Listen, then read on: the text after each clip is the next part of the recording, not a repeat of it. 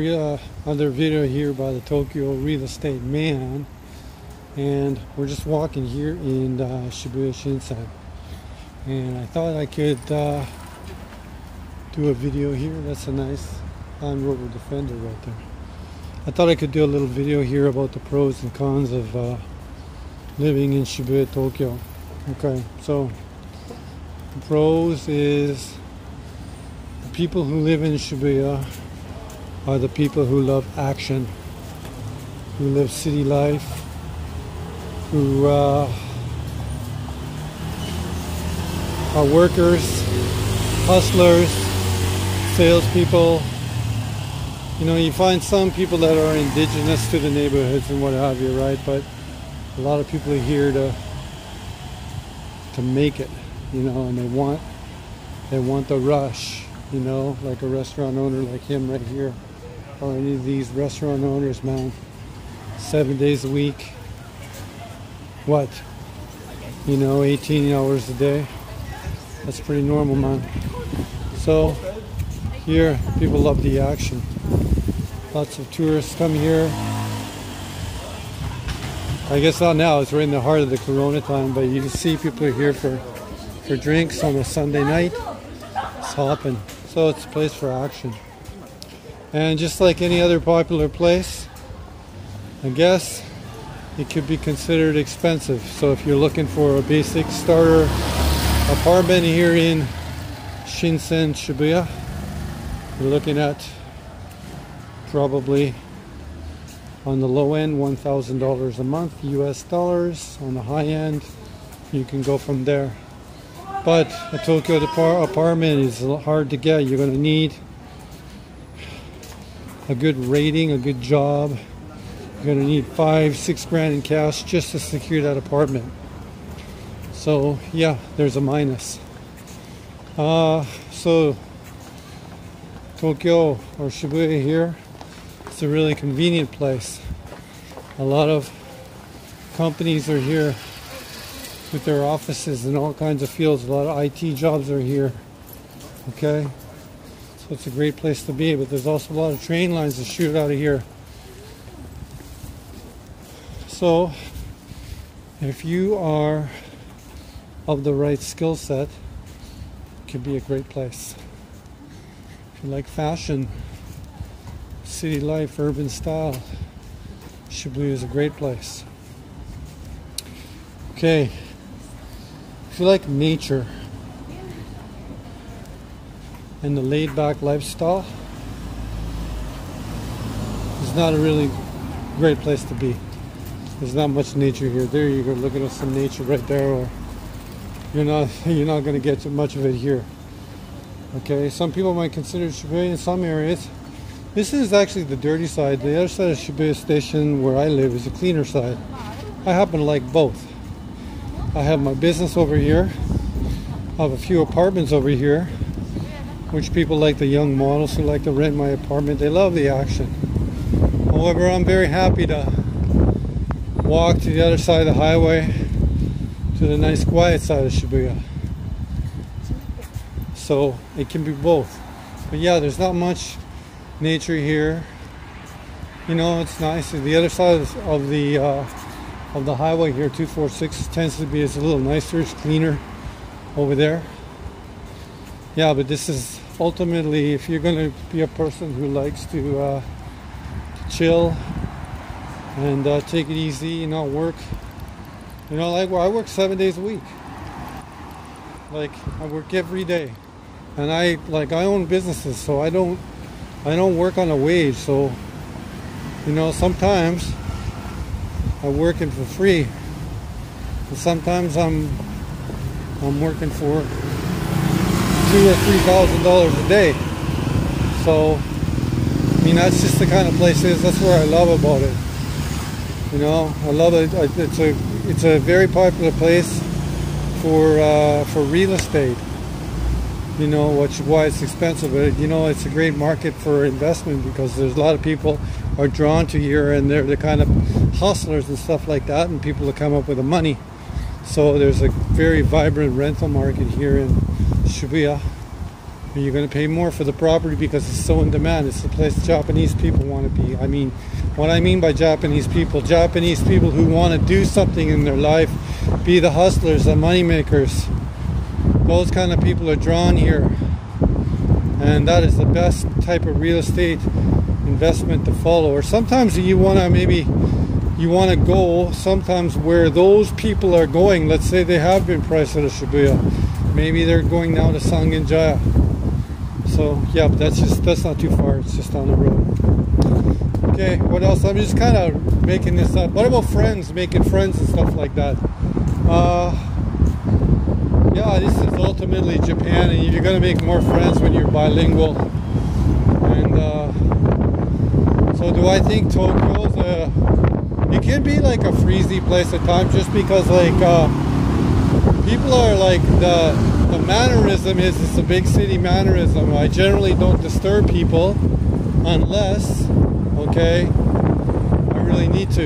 You know, like even when people come into my store, I tend to let them just look, and I might I might say konnichiwa or arigato gozaimasu, but you know, like it tends to be a pretty big city vibe. I let people know that I'm there, but uh, you know, Japanese customer, I'm not all over them at once because maybe they just want to check things out. You know, so I'm just uh, that's kind of a normal thing in just feel people out and be quiet. You know, like when it's Japanese society, when in doubt, you know, be quiet is a good idea. So we're going under the highway right now,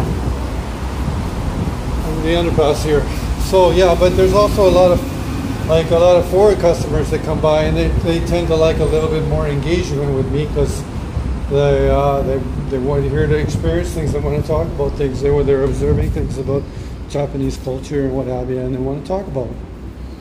Okay, so I don't know. You can I, I kind of believe you kind of like get the world that you make in a way. So you know, like I tend to be a person who loves to to be engaging with people. So like I own a shop and a brand and or you know like I'm in the real estate business because I like investing and stuff like that. So like I tended to create the world that I wanted to create.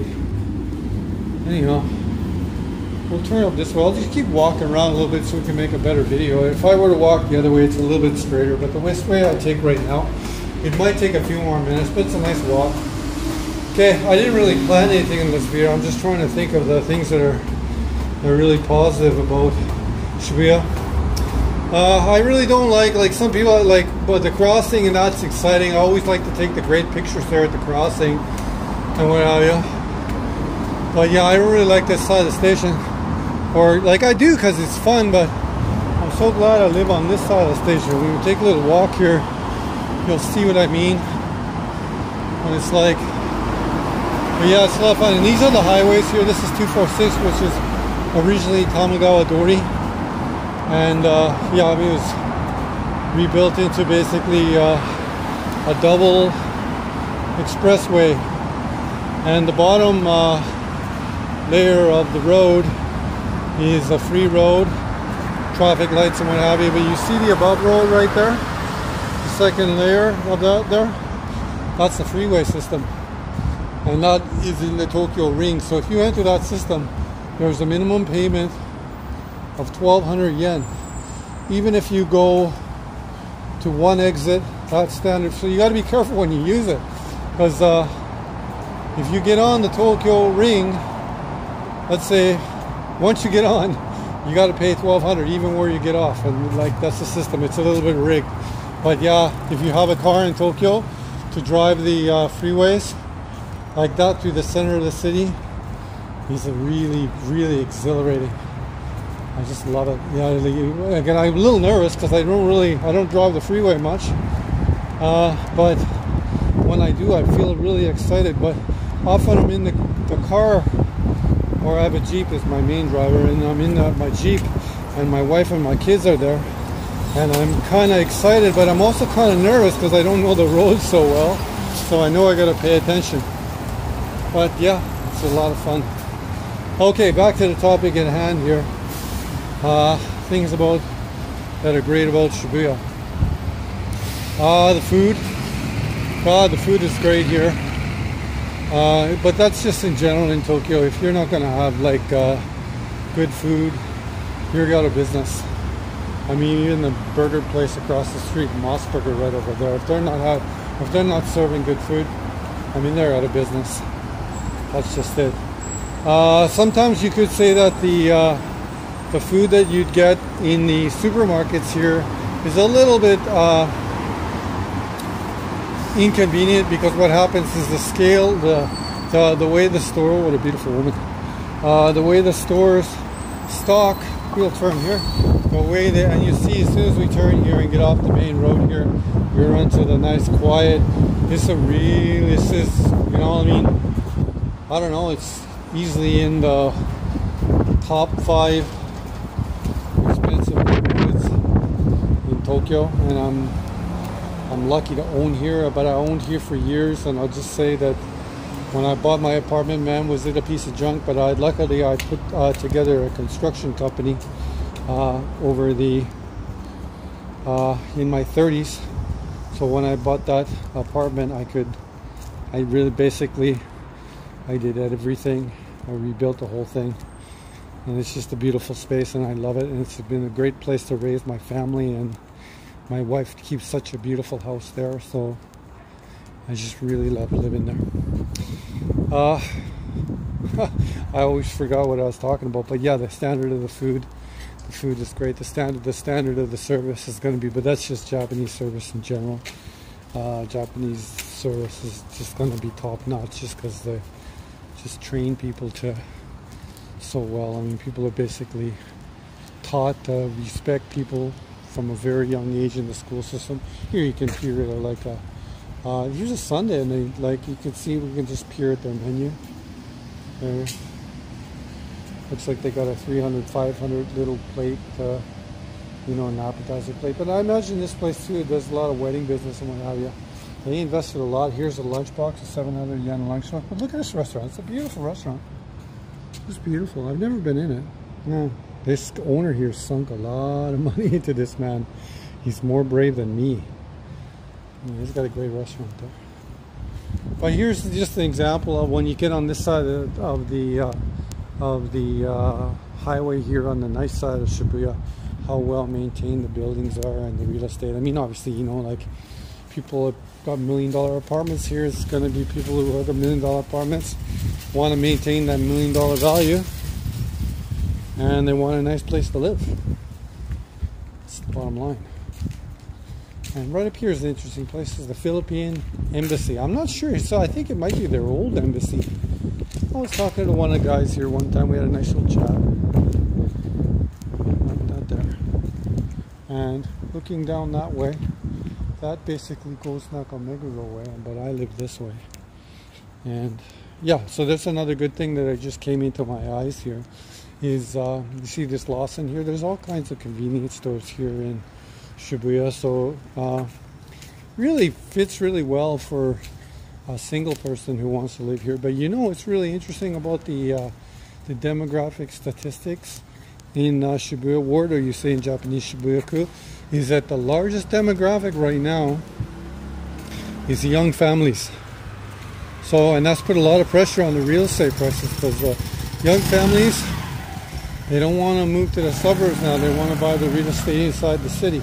And you can see that in my building. And my wife made a comment about that today because what happened is that they had to put the tape or the like the tape for the parking spots of the bikes because there's been an increase in young mothers and younger families in my building with younger kids and uh, I guess the space has become premium for like the uh, what you say mamacharis or like the the bicycles for the mothers which they use here in uh, in the center of the city almost like a motorbike they have the electronic bike and the mothers cart the kids everywhere. Sometimes they get going. You got to be careful when you're driving. Always when you're going to turn, that you keep an eye out for the electronic bikes because they can. Once you get two kids on those bikes and that mother gets going, they can be going up about, you know, 25, 30 kilometers an hour. Now I'm told that the maximum speed of electronic bikes in in uh, Japan is 25 kilometers per hour.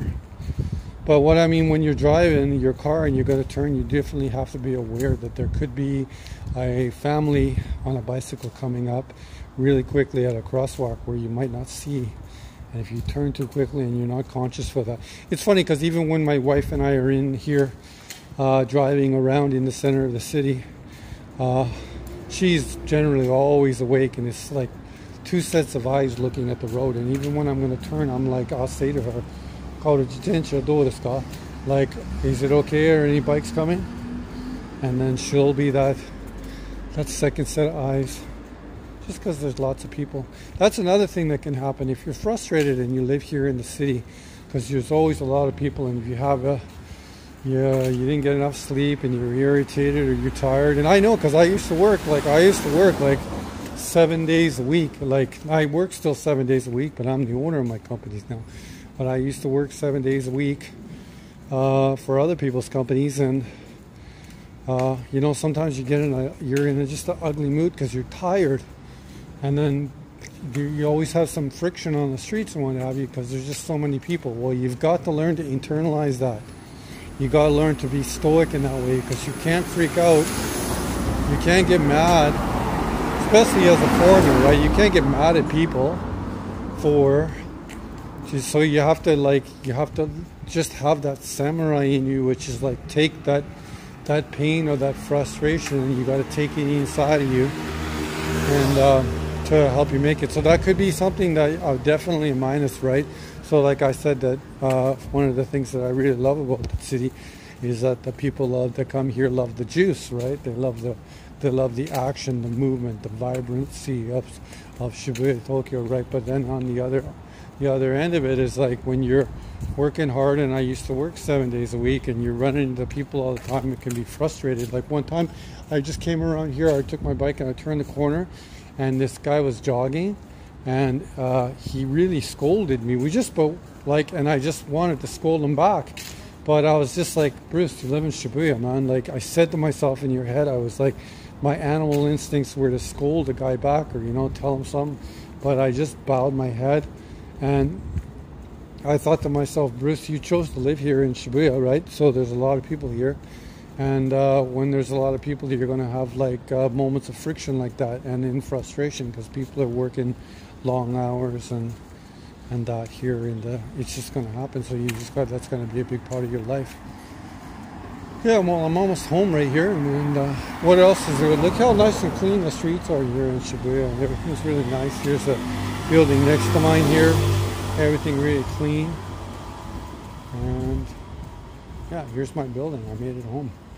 We'll go to the elevator and we'll shut the video off but i hope this is a a convenient video for you. I mean, this is probably nothing new, but this is just something that you can expect when you want to live in Shibuya, Tokyo. And you can see here on the left side here, they've got all the mothers. You see all the kids? See, this is a real indication here. Baby seat, baby seat, that's got a baby seat, a baby seat, a baby seat, a baby seat, a baby seat, a baby seat, a baby seat. And there's the queen, my wife. The queen, she's got the best spot. Shibuya Republik right there.